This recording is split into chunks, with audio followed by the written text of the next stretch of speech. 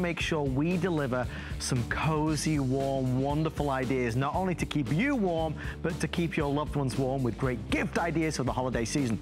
In fact, the best thing I love about my hot chocolate is that I'm listening to great music at the same time with headphones, speaker, or and earbuds. You get all three of them. It's all part of our deal of the week. I'll put that right there so you can see it. Look, look, look. You get this, this, and this.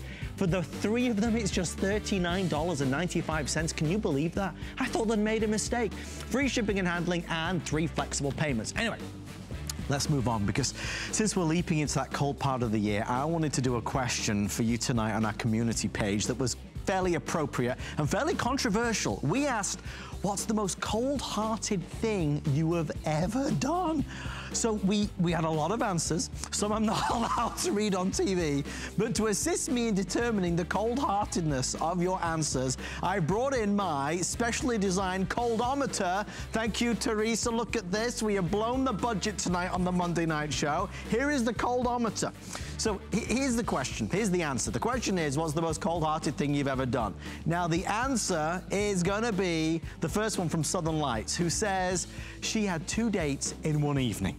The first date took her to a Japanese restaurant. Then she was so nervous about the time that she, that's not even the right thing, guys. Hold on. Rewind, rewind. Does that make sense on that answer? the first date took her to a Japanese restaurant.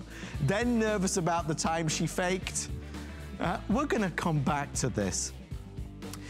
They're telling me she faked she had a headache and then she made him take her back home and then five minutes later the second date showed up and took her to the same Japanese restaurant with the same chef who saw exactly what she'd done. All right, I think we get the gist of that. So two dates in one night. What do you say? What does the coldometer say? Well, it's definitely fairly bad. I'd say probably a bit more. I think it's ice, ice, baby. That's definitely on the cold scale. What's the most cold-hearted thing you've done? If you've got an answer, go to our uh, uh, website at hsn.com type in community and somebody somewhere out there is going to, sorry, I'm sat on the, uh, on the throw. Somebody's going to win $25 to spend on something that they love. All right, well, after that very smooth for starting